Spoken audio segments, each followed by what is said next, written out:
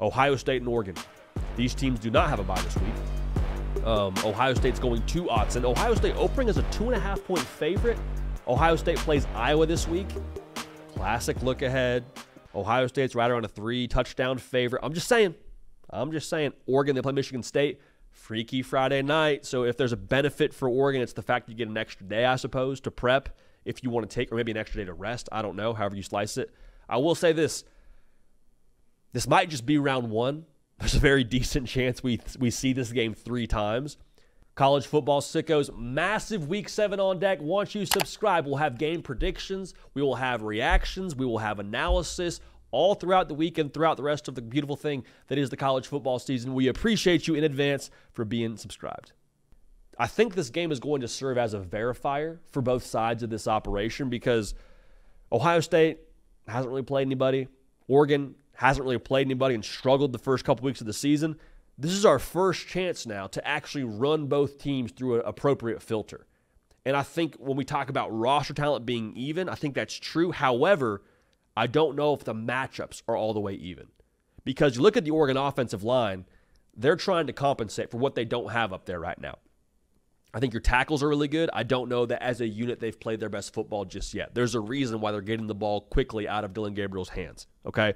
Now, Ohio State, that defensive line is going to be uh, getting after it all night long. Make no mistake, they will be they will be cutting it loose. JT Tuimoloau, Jack Sawyer, they got some dudes, okay? And then on the back end now, that's something to watch because I think ultimately this will be a really good test of both quarterbacks. When roster talent's even, Dillon Gabriel, you're dealing with pressure. Can you be at the 4,000 level course of this offense as a language? Because if you're conversational, balls out, we're not even worried about what's going on up front. However, if we're struggling, we're still trying to think our way through things, it's going to be a pretty high sack number for Ohio State in this game. Now, Oregon secondary is allowing four yards a pass. So, Will Howard, we said this yesterday, man, and the video hasn't come out yet, but I'll say this again. You brought him to Ohio State to be the difference maker.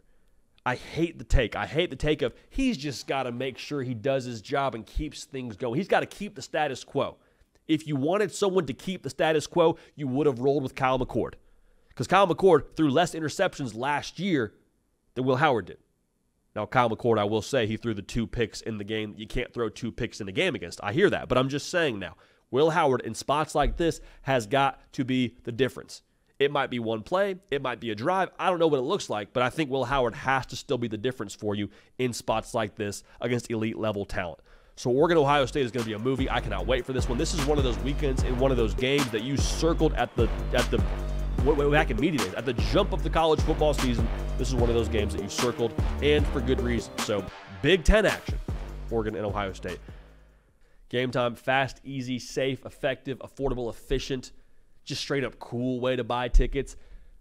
Whenever you use the Game Time app, you can tell the seat before you buy, or I'll say this, the view from your seat before you buy, which is the best way to go about your business. You're not sitting behind a pole, you're not sitting behind the jumbotron, you're not purchasing your purchasing your ticket, show up and then see the view. No, see the view from the Game Time app before you purchase. Also, you make sure you get the best price on your ticket. I said most affordable, I wasn't kidding same section and row, find a ticket for less than what you paid, 110% of the difference.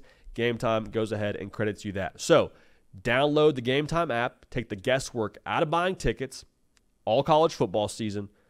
Download the Game Time app, create an account, use code HARDCOUNT for $20 off your first purchase. Terms apply. Again, create an account, redeem code H A R D C O U N T for $20 off. Download Game Time today.